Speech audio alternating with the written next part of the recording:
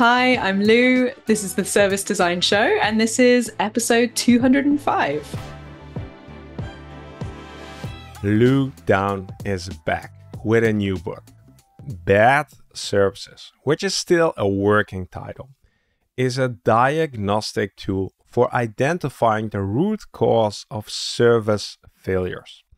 In this episode, we'll dive into the organizational patterns that lead to bad services and discover practical steps anyone can take to make a difference. If you're new here, welcome to the Service Design Show, the show where we invite the brightest minds in our field and explore what's truly needed to design great services that resonate with people, push our businesses forward, and honor our planet.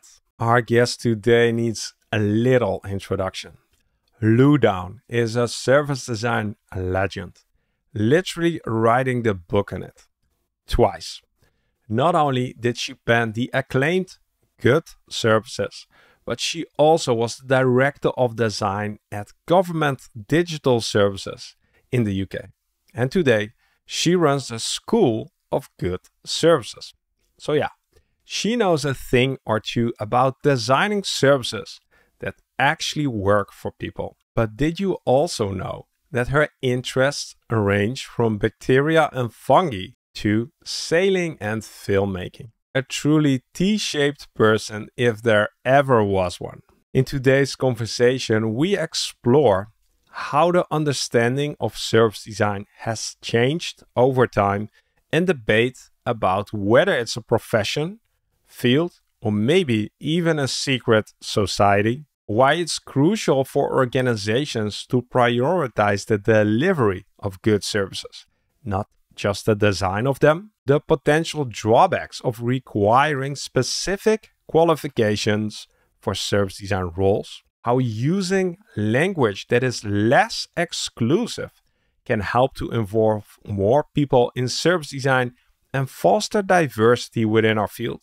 And you'll get actionable tips for organizations looking to build and grow their service design capabilities. If anything, I encourage you to pay close attention to the part where Lou and I dive headfirst into the messy, complex, and often frustrating world of organizational change. We openly ask the question whether it might be better to throw out the rulebook and embrace a little anarchy. So brace yourself for some real talk about the power struggles, the bureaucratic battles, and the hard won victories that come with trying to change how a company operates for the better. I hope this got you excited for an inspiring conversation with our returning guest, Lou Downe.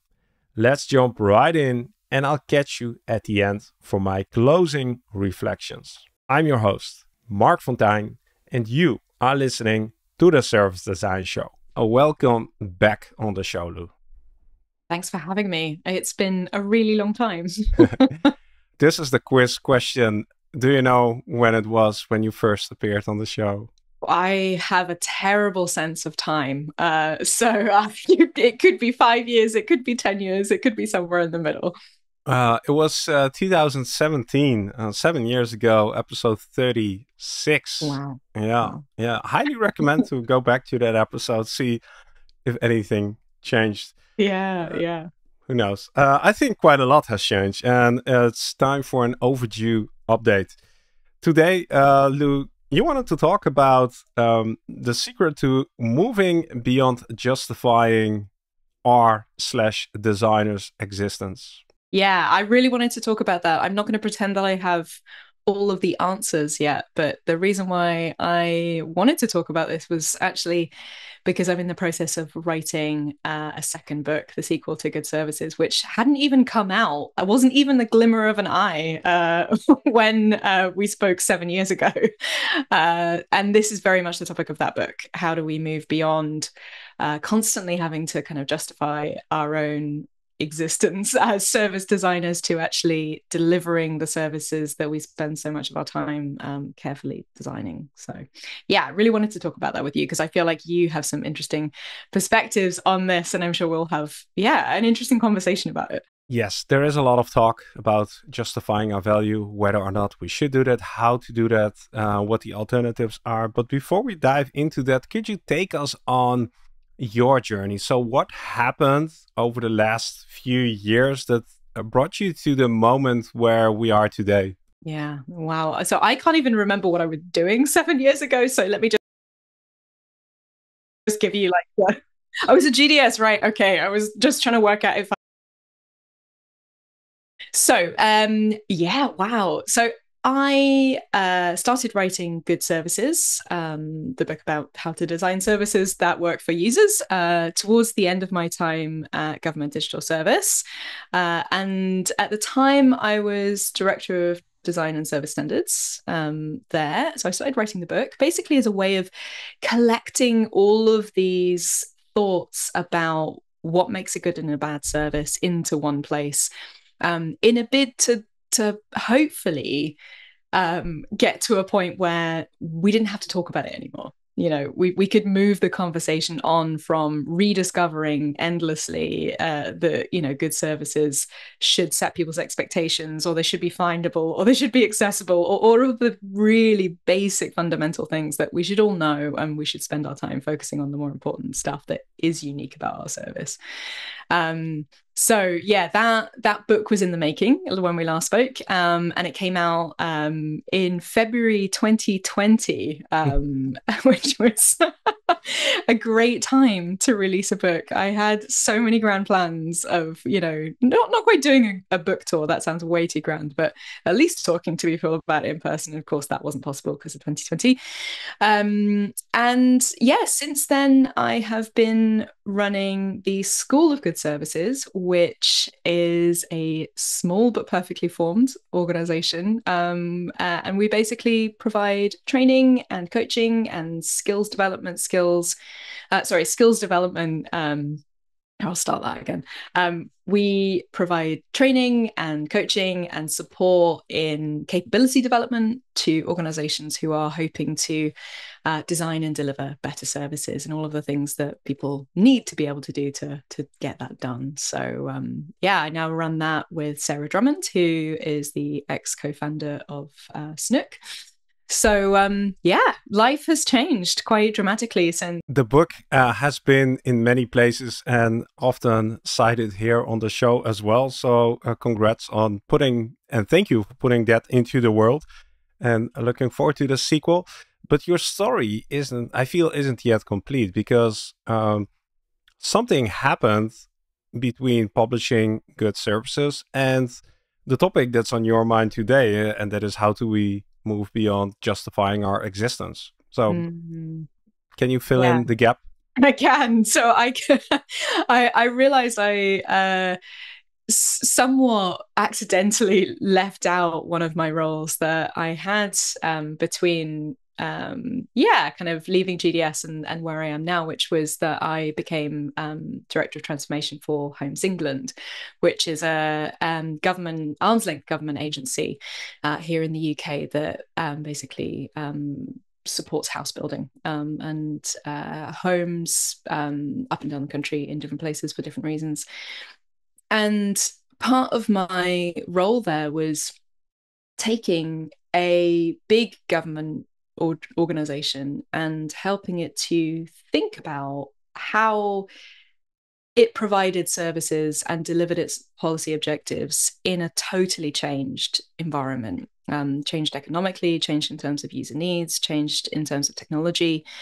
Um, and what i learned in that time i think has been really fundamental to thinking about the types of skills that we as service designers need to um, support really to be able to get this type of work done. And so actually my role there was really foundational in creating the school of good services and realizing that actually probably uh, skills in service design are the things that we actually need the least in terms of developing those skills. As service designers, often what we need is the skill to be able to write business cases and to lead large and complicated groups of stakeholders, or to prototype our services, or to understand our practice in an agile environment those are the types of skills that we really need. Um, but they are difficult um, and they are really, really hard to do, um, particularly at scale and particularly for long periods of time. And part of that is also our ability to be able to support the skills development of our organization as well. So, you know, at the School of Good Services, we provide kind of training in two parts, both supporting those um, service designers with all of those other skills that are not service designers, and then helping to lift what often feels like a glass ceiling above those service design advocates to allow the rest of the organization to understand what we mean by services and what we mean by a good and a bad service. Um, so yeah, it was really foundational in thinking about that, but it also led me to uh, this kind of path of thinking that is that whilst there are huge similarities in the types of things that our users need of our services, there are also huge similarities in the things that we need to be able to do as an organization to provide those services. And that really is the kind of foundation for uh, the new book, which will be called something the, along the lines of bad services uh, and how we get there and how we get out of it. Uh, title TBC. So if anyone has any ideas and this podcast goes out before I've decided what the title is, uh, please do let me know. so moving between different roles, uh, your thinking has evolved evolved around what service design entails, what it requires, uh, what skills, competencies, capabilities we need as professionals, what we need as organizations. Mm. You started teaching these things. Still, the question that lingers on my mind is apparently one of the skills that we need is to communicate quote unquote sell our value? Well, yes and no. so part I think partially yes, we need to be able to translate the benefits that we're seeing and identifying in the services that we're designing into a language that our organization will understand. And quite frequently, that is either risk or money more often than not money at the root of everything. Even if we do care about risk, we also care about money behind those risks. And the same for organizational objectives. You know, if we care about where we're trying to get to, it's usually because we are trying to reduce costs, we're trying to increase profits. So being able to translate those things into that language that our organization speaks is really important, just as it would be important to translate anything that we're saying into the language of the people that we're speaking to. But I think there's another side to this, and that is um, an element of recognizing when that translation and that need to meet people in the middle becomes a need to go all the way over to the other side, go right the way out of your way, um, completely change what you're doing. Um, and there is no meeting in the middle coming from the other side. And i think that is a there's a real art in spotting where that resistance is in fact hostility and is actually a place where perhaps we may, need to start thinking about changing role if we can you know kind of um, finding safety in our current role or just rethinking how the organization is working. Because i think certainly what i'm hearing is that there is a lot of that going on. Um, and you know there is a I think a real nascent mental health crisis actually um, in many careers, but certainly in service design. And so I would say that that is also a really important thing to do to recognize when it's not you, it's them. Have you been in situations where you either in the moment or looking back realized that there was no meeting in the middle and if so, how which lessons did you take away from that? I mean, I've been in it. I, I'm sure that you have. I'm sure that most service designers, most people who have been practicing or advocating for user-centered design have been in a situation where um, almost like a you know a lobster in a pot the the heat dials up to the extent that we don't re- even really recognize that it's hostility until too late and then we burn out And, you know, one thing that always occurs to me is that the people who care the most are the people who burn out the fastest. And I have recognized that in every single designer that I've managed, every team that I've worked in, and in myself as well. The more you care, the more investment you're going to make personally, professionally, the more vulnerable you become to, you know, the funding being removed or the permission environment changing or your boss saying, actually, no, this isn't really, I don't think important and we should do something else. Um, so it's hard for me to put my finger on one single moment because it to be honest feels like the drumbeat to my career you know and to probably lots of people's careers is being able to recognize when that moment goes beyond just needing to meet someone in the middle to actually being very much in a position where it, it's going to be very difficult for you to make any change. Um, so i think increasingly that is becoming a skill that's really important to recognize but also you know you need to have the skills to be able to get to that point in the first place you know and and if you're not able to explain your work in financial terms or in a language that the rest of the organization is going to understand it's going to be very difficult to even get to that middle point in the first place. Um, so i think they are really two halves of the same coin. Um, yeah certainly in my experience. There is um there's debate going on um, heated articles on linkedin that sort of argue for the fact that we shouldn't view this um, external validation, the need for external validation, as in we don't have anything to prove if the other side doesn't see the value of design. Like it's it's sort of there. It's not a me problem; it's a you problem kind of thing. uh, um, what's your take on that? Gosh, I would support anyone um, who you know kind of recognizes their own personal boundaries and and is able to kind of not only think that to themselves but also to say that publicly and say look like i have these boundaries. This is the type of place that i want to work. This is the type of thing um, that i need when i'm working. I think that is completely legit- legitimate and absolutely justified um, but i think there is also the reality of the working world that we are in at the moment and certainly the environment that I started to think of as almost like a austerity service design, where certainly here in the UK, and I think probably in many other countries, we are now in a world where our organizations have become much more reactive, um, much more short term in their thinking, much more risk averse, much more conservative with a small c and sometimes a big C. um, and it means that doing big strategic deep change requires us to step out of that way of thinking. And i think that is a real skill to learn actually. And then that's not got nothing to do with meeting people in the middle. That's really about us understanding how that like i said before how that 90% of work really happens. You know how do we get a large group of people to a consensus and how do we calm the whole situation down so that we can think more long term about our work.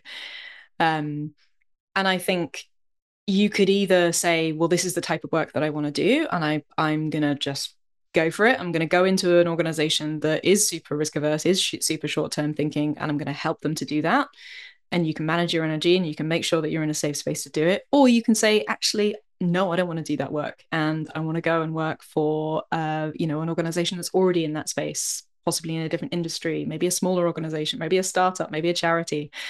And that is also totally valid. So I think there's lots of what I'm pleased about is the fact that we're having this conversation, actually, and that we are starting to move beyond that dialogue of you need to be in the room, you know, kind of lean in canary, um, because it's not right for everyone all of the time, and and you know we're human beings too. I think. I'm curious based on your experience of what you what you hear um, from your quote unquote students, have you been able to pinpoint some of the root causes where this res- I don't know if resistance is the right word, but um, this misalignment and misunderstanding about service design is coming from? Mm, yeah, I, I I think so I think I've started to spot some some patterns in it. Um, I'd be really also interested to hear uh, if other people listening to this um, hear the same or different, because this is obviously from the perspective of the people that I'm working with. Um, so what I'm seeing is that there is um, there's almost a kind of like a holy trinity of problems in our organization, and it starts with not knowing or understanding who our users are and what they need. And that often comes from years of being separated from them and only observing them in user research, only observing them when things go wrong, when they call us up in the call center or something fails in a process, and only seeing the worst of our users. And so, therefore, you know, essentially finding it very difficult to empathize with them or understand who they are. So that's the first part of our triangle. The second part um, is not understanding why we're doing what we're doing in the first place and actually understanding the purpose of our service. So if you take these two things as kind of two halves of the same coin, you know, there's who our users are and what they need, and then there's why are we doing this and what do we want? sometimes we don't know that either. And sometimes that's because we provided those services for a really really long time and you know it's a process of archaeology to work out why they originally were created and sometimes that we're talking hundreds of years sometimes with some public services that have completely changed form and need in that time sometimes it's because over time we just become more focused naturally on talking about how something happens rather than why there's a limit to how many existential conversations we can have about purpose over a long period of time before we have to focus on the doing of the doing. So, you know, that only becomes a problem when we have loads of staff churn and and you know time moves on. So we forget why we're doing what we're doing. We don't know who our users are, and then and then the kind of middle point of our triangle where those two things converge is that we don't actually know what our services are. And so we look at all of these processes and these systems and forms and tools and widgets and all these other things that we do. And we go, we don't know what people need from them. We don't know why we're doing them. So the only option that we have is to just improve them and to um, to make them faster and cheaper and to essentially just you know re-platform the exact same things digitally if that's what we're doing and those three things kind of form this kind of triple lock in in service design where it, you kind of have to you have to unpick all three of them in order to be able to really fundamentally do that really deep strategic work and shift an organization into a very different space. And then there are a bunch of things that kind of just sit around the outside of that things like not really understanding how the internet works or how technology works which is you know increasingly problematic. You know we'll end up making mistakes if we think that you know the same service that worked in a physical environment is going to work you know in a digital environment where the world is powered by ai so there's a bunch of other things that go on organizationally that cause problems but those three are really fundamental to us being able to to properly think about what our services are and what they need to be in the future. I like i like those those three and unfortunately they are very recognizable. Yeah could you take us back to a moment or a conversation that you had where you sort of really felt that these that these three challenges were roadblocks to moving taking the next step within the organization? Like I, I can imagine what kind of conversations that were but maybe you can sort of uh, give some examples this idea i think is is more something that actually i've noticed as a, a more of a long-term pattern in having conversations with lots and lots of of you know students essentially people who are coming through the school of good services courses. Um, and there's this moment in all of our courses where people start to realize that when we're talking about service design what we're talking about is understanding our purpose, understanding who our users are and what they need, and understanding, therefore, what the service should be. And we ask these really radical questions, um, even though they shouldn't be radical. They, you know, should be part of what we do on a day-to-day basis. We we talk about this this in all of our courses because it is fundamental to any conversation. And this is usually the bit where that if that penny hasn't dropped before, then it certainly does then. And that person is kind of met with the reality of the fact that what we're talking about when we talk about service design is very fundamentally different to the very often quite confined box that they are asked to operate within their organization where they're asked to make things faster better you know kind of uh, more efficient different technology all of these sorts of things. And then we get to the really real conversation about okay well how do we move forward then?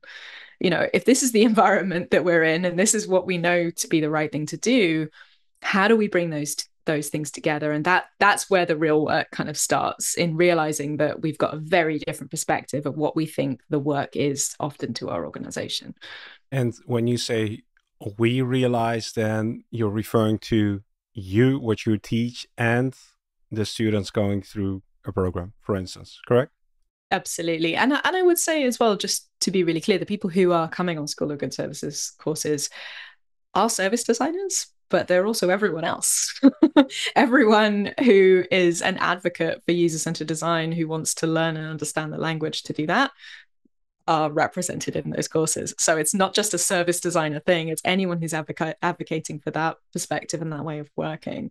Um, yeah, it, it, faces that moment of, of realization uh, as a group together. So, so what's the aha moment? When does the light bulb go on? I think it usually happens when we start to um, strangely enough when we start to do things like thinking about what we should call our service. And uh, if you think about it ultimately it's our user that defines what our service is in these day and age you know by what they're looking for by what they're searching for in that search bar um, or what they're speaking to their friend or family member or colleague about. Um, it's their language it's their mental model their perspective that's defining how they look for that thing and whether or not they find it. And that puts us in a really interesting position where we go okay well therefore if what they're thinking the service is is something over here and that's totally different to what we're providing this is like a this is a big difference to kind of bring bring those things together. So often it can be by asking quite innocent questions like what should we call our service? Or um, you know kind of how would we define the outcome? What does good look like for an outcome of our service? Again how could we measure success? That will often trigger some of those existential questions of okay why are we there? What is the service for in the first place? So you don't have to necessarily you know, ask that question obliquely. You don't have to say, you know, okay, let's answer these three questions. And then everyone kind of gets a bit resistant. Sometimes you can tunnel in from different directions um, to try and kind of bring people on that that same journey with you. And that's often what we end up talking about is how do the, the people who are on those courses go back to their organization and help their organization go on that journey to understand that actually their services are potentially very far away from where they need to be right now. This reminds me of my meditation practice where one of the instructions is to look for the one who's looking uh, sort of uh, to to look for the meditator and not finding the meditator is actually defining. So trying to define or find the title of your service and not finding it is actually yeah. defining. It is. It really is. And it is, you know, I wish there was a, a better way of doing it that didn't require people to go through that pain of of kind of realizing, oh, we've we're doing the wrong thing. But it is, you know, understanding that you don't know the answer to those it's questions profound. is the yeah. it's it's really profound yeah and it's very important to realize that i um, often get uh, a question which um, makes me a bit unsettled and i still after all those years don't have a good answer to that and i'm very curious to hear your perspective and that is who's doing this well or the question that I always get is, uh, can you give an example of a great service? Mm. I always struggle. Uh, what, what, what's your reply to a question like this? Look, I always struggle as well, and people ask me all the time because obviously I wrote a book called Good Services, and people go, "Can you think of a good example, Lou?" And I am just sat there going, I, "You know what? I can think of." Um, usually good examples of where people are doing s- parts of providing a good service. Can I think of anyone who who is doing the whole thing well is often much much harder. And i think part of that is just because we have a bias towards spotting problems right? That's our job. So, so for something to be working well nothing has to go wrong you know has to exceed our expectations and our expectations are high so i I think, and and personally, also, I find it much more interesting to find things that are going wrong. I love sniffing out the problems because I think I learn far more from understanding the problems than I do about looking at something that's being done well and trying to copy it because it, it rarely ever is replicable in your own situation. It will always be different. So, yeah, understanding how and where and why people have made mistakes, I think often helps us to to make things better more than looking at a great example. Or at least that's my excuse.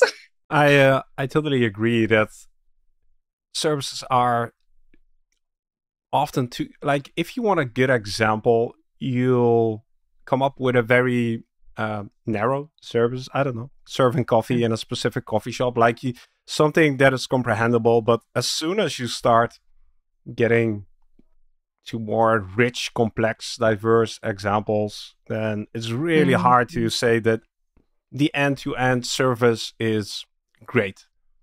Um, so yeah, I, I, also often say it's like you have to look at specific parts and uh, yeah, unsatisfying answer. Uh, but yeah, Lou, the other question that I had, and I posted this on LinkedIn uh, by the time that this conversation goes out a few months ago. And it was inspired by the prep call that you and I had.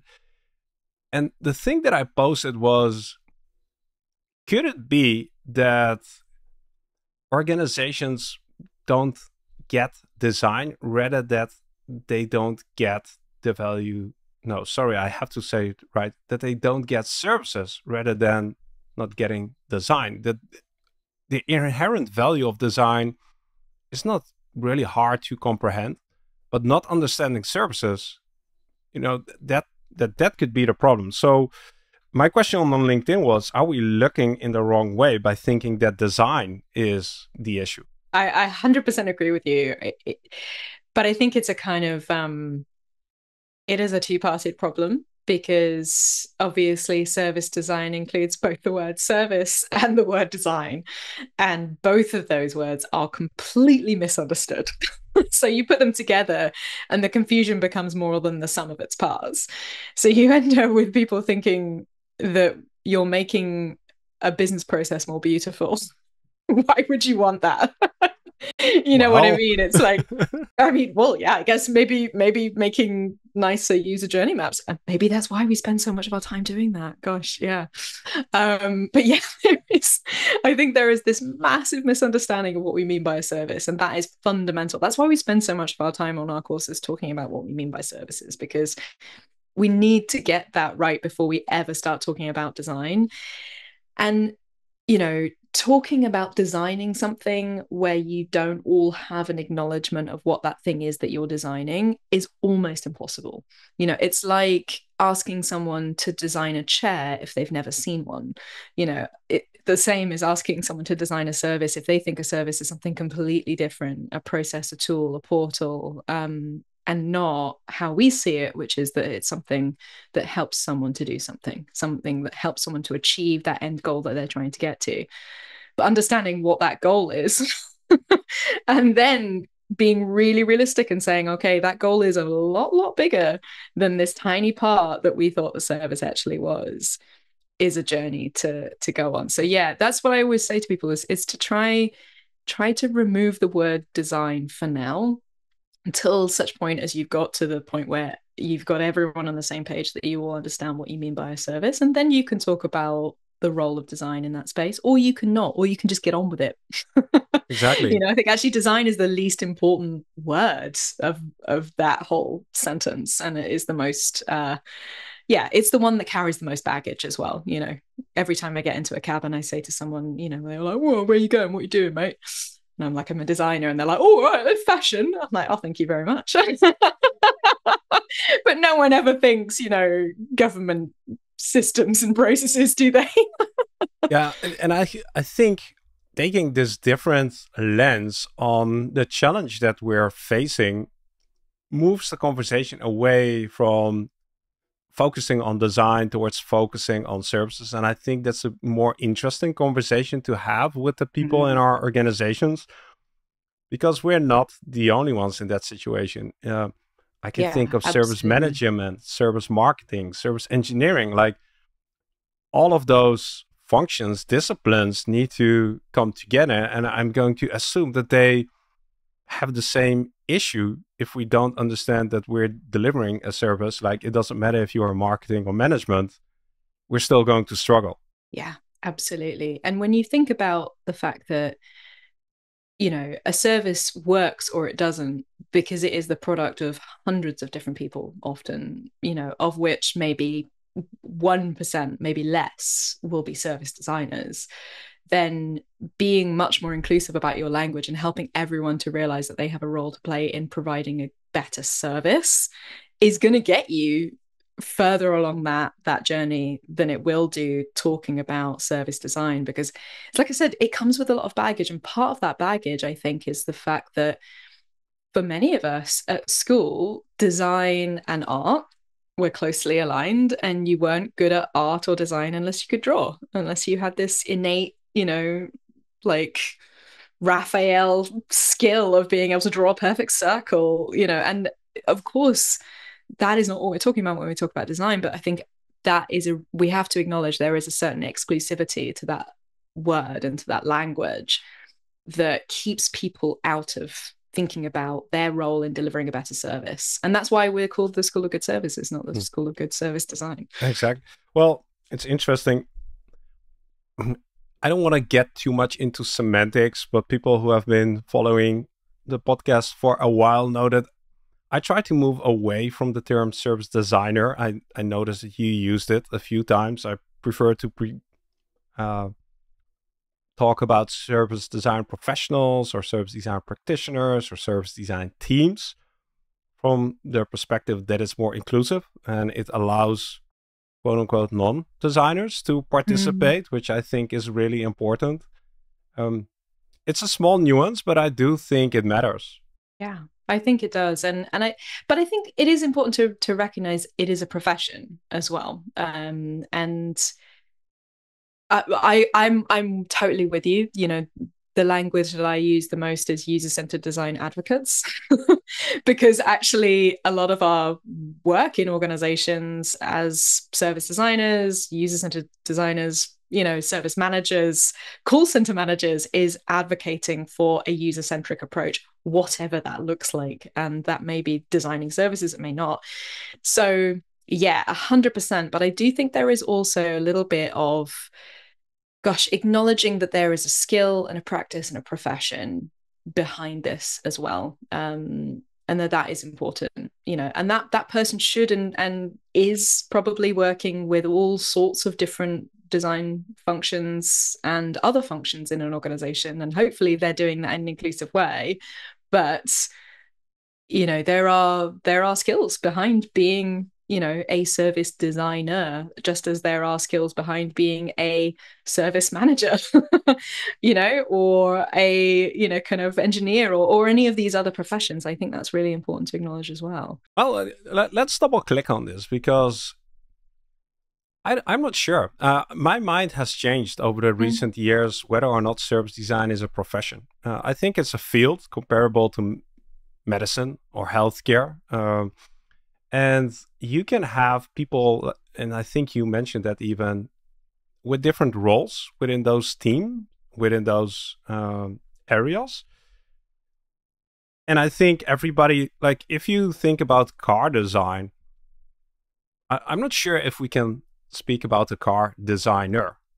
You you you can be like somebody participating in a team designing a car and then thinking about I don't know materials or interfaces, and then you're part of a car design team. I, I, I sort of am leaning towards that analogy these days.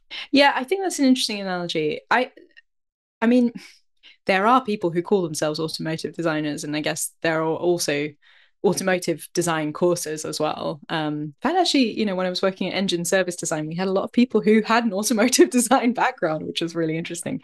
Um, and yeah, I think it's a good analogy because ultimately, you know, much like a, a vehicle, a service is made up of multiple different parts that require lots of different skills and expertise. Um, so, can one individual really say that they are designing every aspect? No, but I think there is an element of the generalism required to bring all of those things together is also a skill, you know, and I think that's where that, you know, we, when we think about T-shaped people, you know, and no one, no, no one talks about this anymore, by the way, T-shaped people. I don't know if it's not the thing anymore, but anyway, when we used to talk about it, it was always about like, okay, what, what's your, what's your downward stroke? You know, what's your like super skill that sits, sits within that? And there was way less importance put on that skill of generalism, of being able to bring all those things together and being the translational layer that that pushes those things into the right direction. And I think there is a huge benefit to understanding a huge amount of different things to not a great extent. and to be able to know, okay, well, this is when we need to bring this person in, or this is when we need to, to do this thing. Um, but of course, that role is totally different in different contexts, right? If you're the only person designing and delivering and managing that service, you know you are a one person service designer you, there is no team if you and that is the case often in lots of organizations if you are in the privileged position where you have loads of other people to work with, all of your other automotive team, your service design team, your job is going to be much more about that that kind of layer of bringing things together and and perhaps maybe doing other elements. So so I think it's um yeah, I think we're I think we're kind of meeting in the middle. but but it is a it's a real tension, isn't it? And it's a conflict between uh needing to have some kind of I suppose like centrifugal force behind that momentum of thinking about services and talking about service design, but knowing what the right point in time to bring people in and to not be territorial about that and to say i'm the service designer so therefore i should do these things. It's a it's a balance isn't it of being open and um yeah having ownership and having momentum and being able to bring those things forward. Yeah uh, it's absolutely about a balance and as you said, it's when you're hiring, it's much easier to hire for a service designer, right? Than being very specific. We are looking for a copywriting expert for our service design team. That's probably I don't know that that might be harder to uh, hire somebody. Mm. Um, but I feel it's also up to us people uh, who have been in the industry for a while to start showing that a one person service design team isn't like that's that's not reality. That's yeah. uh, that's a that's a guarantee to burn that person out, and um, it's not going to move your organization forward. So I think we, I don't know, I I feel that it, I'm I'm doing my best to add nuance and richness to the idea of what it actually entails to to do service design. I don't, I'm not sure if I'm making sense. No, you you are making sense. and I agree. And I think that's really important because what we're talking about is the nuance, right? This is not, uh, you know, a clickbait argument. Um, this is about us understanding that those two realities of the fact that service design is everyone's responsibility and also sometimes requires one person to push that forward. Like that, that is the whole conversation. And it really reminds me of when I first joined government digital service and I was brought in as the first service designer with the service design title to the expectation that I would just design all of the services. and you're right, it's a recipe for disaster. You cannot design all government services with one single person. That's completely ludicrous. But, you know, that was the expectation. And I think that's also the expectation on service designers as well. And I think that's there's a lot of this that is really important to acknowledge for the for the health of service designers that you cannot do everything, you know, and that's important. Exactly. Yeah, there there is a big part in education here and um using the term service design nurse in the past decade has helped us tremendously to establish the field, to bring people together, to create mm. momentum. But I also feel that we're growing up, we're maturing, and now is the moment to start distinguishing uh, between we have white wine and we have red wine, like, okay, let's try to distinguish a few flavors and nuances because mm. they are there. We just start need to start labeling them and educating people about them. Absolutely. And I, I what you said made me think of something else really important about this as well. Um, well, why? um,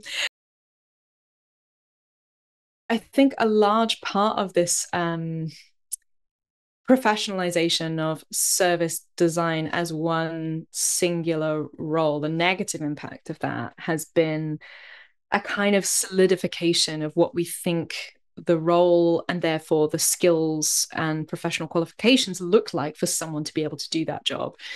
And what Sarah and I have started to realize is something that we we've known for a very long time is that that is causing a massive knock-on issue to the diversity of the types of people who end up in those roles because when you put out a role that says, you know, service designer, and then you say that person needs to not only have experience in a previous service design role, but they also need to have a service design qualification, is you're kind of adding at least like a 50,000 pound price tag on that person's education that they're going to get into that job. And that is absolutely not what we are like aiming to do as a profession i think. And what that i'm not against professional service design qualifications. I am not against university degrees doing it. I think they're fantastic things. But i think where we say you have to have that we have to acknowledge the the consequences that that is incredibly exclusive to get into those sorts of roles. Um, and that you know that's not my background that's not sarah's background that's not your background. I you know like that is not the background of anyone who is in a, a senior you know kind of role who's been doing this for any length of time. We did not study this professionally. But getting that across and helping people to understand that actually there's a plethora of different backgrounds experiences perspectives that are so valid and so important to bring into this profession that are not you know the same shape as each other is is vital for the future of, of the profession and the diversity. Interesting. Uh, I didn't consider that um, so vividly. That adding like a qualification excludes a huge, huge part of the potential talent that could and that needs to participate in the process. Yeah, absolutely, and particularly when you think about the fact that you know, I think service design is one of those professions that you don't know that it's necessarily exists or that it's needed until such point as you're probably already working. You know, that was my experience, and it's the experience of a lot of people who are very much kind of mid-career or early career transitioners into the role when they start to see an organization doing things in a way that don't quite make sense to them. Like me going into the gallery and spotting someone putting up a sign saying don't use your mobile phone and going okay this doesn't quite feel right to me but you know by that point you're also you're making it even harder for that person to get that new job because you know that person already has a career. They already probably have other qualifications. They're already paying down the debt of they might have children. They might have caring responsibilities. They they certainly can't afford to take the time to go and do a university course you know um, let alone the cost of that as well. So we're, we're kind of we're raising the bar just way way higher than it should be at the moment so, what's your piece uh, of advice for organizations looking to grow their service design capabilities? I mean, firstly, I would say uh, look to understanding what types of services you have um, and look to the types of skills that you uniquely need in the types of people that are going to be pushing that forward. And that will depend on your services, but it'll also depend on your ways of working, your governance structures, the level of buy in in the organization and try to kind of park the idea of that person being called a service designer just for a second. Park the idea of that person needing professional qualifications and all of the thing the kind of just assumptions we make about those sorts of people and just think about the skills that that person needs first and then work backward and go okay is this genuinely one person that we're describing? Have we just described a unicorn that doesn't exist? Is this four or five different roles? And then really carefully please please think about where that person should be positioned in the organization. Don't hire one person and expect them to transform all of the services on their own and just you know expect that person to just weaponize themselves and you know literally like sticky tape be holding these big bits of services together themselves. Like create a funding structure create an organizational structure create a line management structure that allows that person to thrive and to do that job properly. Don't expect them to you know come into the organization and make their bed you know it's just it's not fair on on that designer. So sorry that was a whole other load of things to shoot on into it but yeah first of all think about the skills that you actually need um, and yeah before you start thinking about adding professional qualifications. And if you do need that person to have professional qualifications you know are there other ways that you can do this? Could you also perhaps maybe fund that person you know to to have learning and development you know this is the this is the irony of this kind of increasing professionalization is that we're expecting more and more service designers to have degrees in service design at the same time as removing their learning and development funding in our organization. So who's supposed to be paying for this? Like because it's not us as an organization. It's we're expecting that person to pay. And lo and behold we find that we have far less diverse teams. Mm. you're like hmm whose fault is that this is uh, this is going to be a research study for another time but uh, in my side one of my many side projects on service design jobs we have collected close to 5000 job descriptions for service designers it will be interesting to sort of pick oh. through those and see mm. what the trends are but uh, maybe maybe in a different lifetime uh, Get some AI on it, Marc. It'll be fine. yeah. I just need a little bit of funding, then we can hire a few researchers to do this. But no, that would be a really, really interesting um, exercise. Mm. Lou, before our time runs out, um, by the time our conversation goes public, it will be somewhere around June or July 2024. I don't know how far the new book will be by then, but what can you tell us today about it? So, the new book is basically a diagnostic tool uh, to help people to understand why their organization is struggling to deliver services that work. So, essentially, it's probably all of the questions that you were left with uh, after reading Good Services, where you went, "Hmm, this all sounds great, Lou, but how?" um, that is what good. Se- that's what bad services is going to be about. Um, uh, it's really a tool to help us to understand the problem and to be able to pragmatically move forward as well. So don't expect any advice that runs along the lines of now it's time to restructure your whole organization. because very few of us have the ability to be able to do that. So this is really about pragmatically what can we do as individuals, assuming that we don't have infinite time and budget and um, you know kind of seniority to be able to completely change our organizations.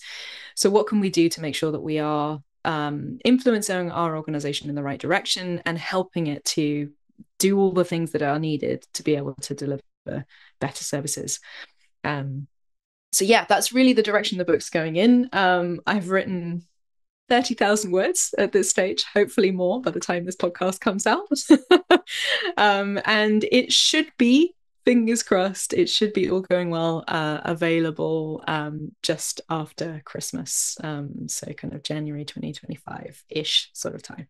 Uh, and it's coming out with BIS um, so the publisher of good services uh, and also this is service design thinking. So um, yeah great great publisher and um, feel very lucky to have the opportunity to yeah to write uh, the sequel to good services.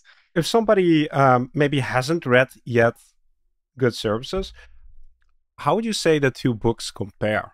I think they are part of the same story. Um, so for me, in retrospect, Good Services feels like um, the middle of a story um, because really what both of these books are about is creating an organization that can design and deliver better services. And for me, that comes down to kind of a sense of service literacy which kind of has three main components to it. You know, being able to see services as real things that can and should be designed, being able to know and understand what we mean by a good service and a bad service, which is good services, and then actually committing to designing them. You know committing the people and the time and the money and the resources and the structures and the permission and all of those other things that are really hard to find. And that's what bad service is about. So they are very much you know kind of two chapters um, of a much bigger story about actually how do we go beyond just talking about this and knowing that it's a good idea to actually seeing that change out there in the world? And how do we start to just as we recognize the patterns in what makes a good service recognize the patterns in what we need as an organization to be able to actually deliver those things? Um, so yeah i hope that it it will spark some conversations um, and trigger some ideas and also help people to feel less alone in doing this work because it can feel really lonely and you know this is the the kind of sum total of all of my experience in all of the roles that I've done but also all of the experience of all of the fantastic and amazing people that we've worked with who've come through the doors of the School of Good Services and shared their experience of what it's like to do this type of work and their learnings so um, yeah, thank you to everyone who's contributed to this book so far and will con- contribute to it uh, in the time between now and when it comes out. Maybe an additional uh, opportunity here, but uh, is there any like two questions here? If people are interested to learn more, is there already a place where they can go? And two, is there something we can do as the Service Design Show audience community to help? Mm, oh, yes, that absolutely. Um, so to find out more information, um, I would definitely first of all go to good.services, um, which is the, the home of the School of Good Services. And there are a bunch of, and will be a bunch of blog posts about the book, sharing some of the ideas and thoughts that are kind of going into it. Um, uh, Sarah and I have also started a very different shape of podcast to this one, uh, basically a, a, podcast called Dead Ends, um, which is basically conversations that we are having about some of these really knotty topics, like how do we actually reconnect with our users and how do we understand who they are and what they need.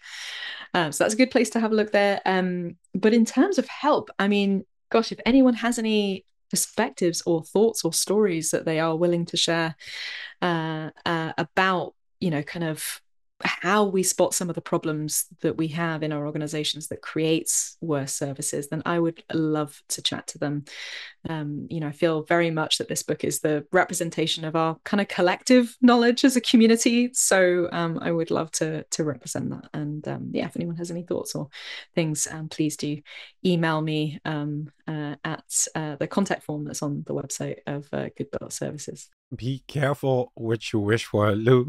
I know, I know.